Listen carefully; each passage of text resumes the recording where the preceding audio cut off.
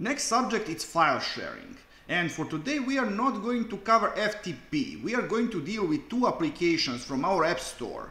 So just open your App Store and navigate to FileDrop and File Browser. We are going to install these two applications.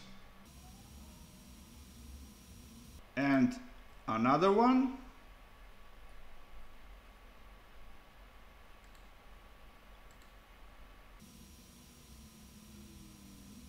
Alright, what's the catch with these three? With files. This works exactly the same as File Explorer on your computer.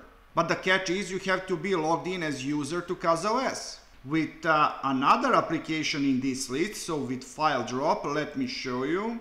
Go to Settings, navigate uh, to uh, these two fields. So whatever content you have in your local storage, data, app data, file drop data, you are going to see as root storage in file drop. So what I'm going to do now, first I'm going to uh, open file drop.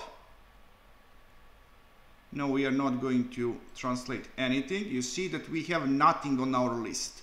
Now I'm going to go back to CasaOS, go to files, so app data, file drop, data and in here we are going to create uh, one uh, file. Call it new file doesn't matter. Submit. Okay we have one file in here. Go back to file drop and refresh it.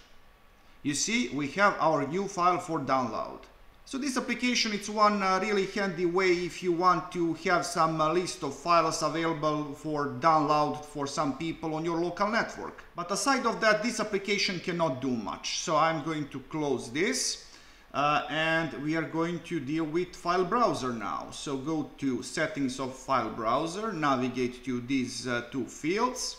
So now whatever you have in uh, root data of your local storage, that is going to be a root of your file browser. And this application works more like FTP server, but actually it's not. We are going to cover FTP servers later on. For now, I'm just going to show you these two applications. So now I'm going to open file browser and I'm going to uh, log in as admin, admin, so these are uh, first credentials that you are going to use. Uh, and now this root directory, it's actually a root data on your local file system.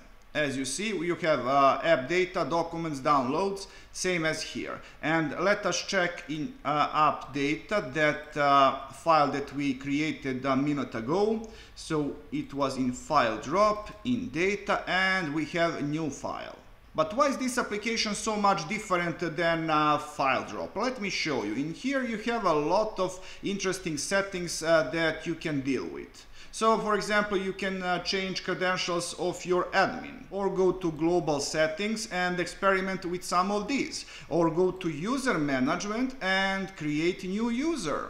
For example, KST with password uh, choose uh, whatever permissions you want to give to this user and just click on save.